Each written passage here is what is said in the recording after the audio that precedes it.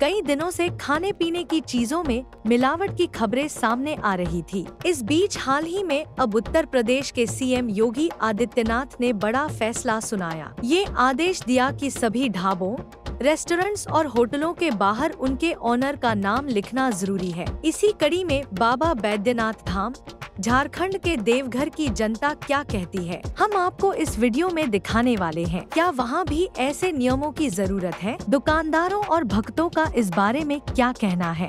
आइए जानते हैं। तो दरअसल, सबसे पहले ये मामला सामने आया जब आंध्र प्रदेश के तिरुपति मंदिर के प्रसाद में मांस होने का दावा किया गया। धीरे धीरे सोशल मीडिया पर भी कई ऐसे वीडियो वायरल हुए, जिसमें स्टॉल या ढाबों पर बन रहे खाने पर थूका जा रहा था। हाल इतने खराब है कि जूस में पेशाब मिलाकर लोगों को सर्व किया गया। इस बीच यूपी में अब सभी ढाबों रेस्टोरेंट्स और होटलों के बाहर उनके ऑनर का नाम लिखना ज़रूरी कर दिया गया। उत्तर प्रदेश के मुख्यमंत्री योगी आदित्यनाथ का नया आदेश धार्मिक स्थलों को बदल देगा। जब श्रद्धालु पूजा करने आते हैं तो उन्हें मिलावटी खाने का डर बना रहता है। ऐसे में आप इस बारे में क्या सोचते हैं? सीएम योगी का ये आदेश उन लोगों के लिए है जो गंदा खाना परोस रहे हैं। अगर आप इस नए नियम का समर्थन करते हैं या मानते हैं कि इससे कोई समस्या हो सकती है तो अपनी राय हमसे कमेंट सेक्शन में साझा करें और ऐसी ही खबरों के लिए देखते रहे लोकल 18 आज जो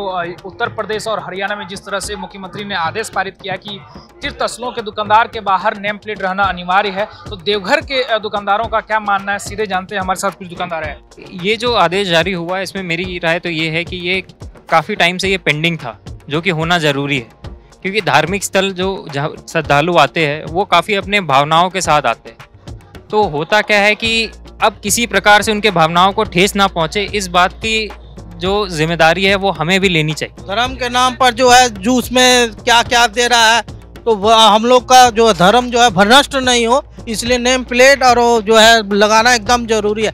ऐसा अगर कोई करता तो उस पर कड़ी से कड़ी कार्रवाई होना चाहिए। नहीं ये तो बिल्कुल ही मतलब एक तरह से धार्मिक उन्माद को फैलाने का मतलब एक बोल सकते हैं कि उस तरह का है। तो इसकी कोई आवश्यकता नहीं है वैसे। हाँ उद्यम तो हर लोग करते हैं हर लोग जो भी है कास्ट और और जो भी धर्म से इसको रिलेट नहीं करना चाहिए किसी भी चीज़ उसमें क्या दिक्कत है? अगर आप अपनी पहचान नहीं बता सकते तो आप क्या बता सकते हैं फिर? आपको अपनी पहचान बताने में दिक्कत है तो फिर के अंदर खोट है ना? आपकी नीयत में खोट है। कोई ममडन है कोई कोई सिख है, कोई ईसाई है, कोई ब्राह्मण है तो उनको जानकारी होना चाहिए। जैसे हम ब्राह्मण हैं, ये मुस्लिम है, मान लीजिए, अगर ये अपना पूरा नाम नहीं देते हैं तो हम आके यहाँ जैसे अभी नाश्ता ले रहे हैं, अगर अनजाने में लेते हैं तो उनका भी नुकसान है, मेरा भी नुकसान है धर्म जाति पर। ये तो शुद्ध शुद्ध पूरा नाम होना चाहिए।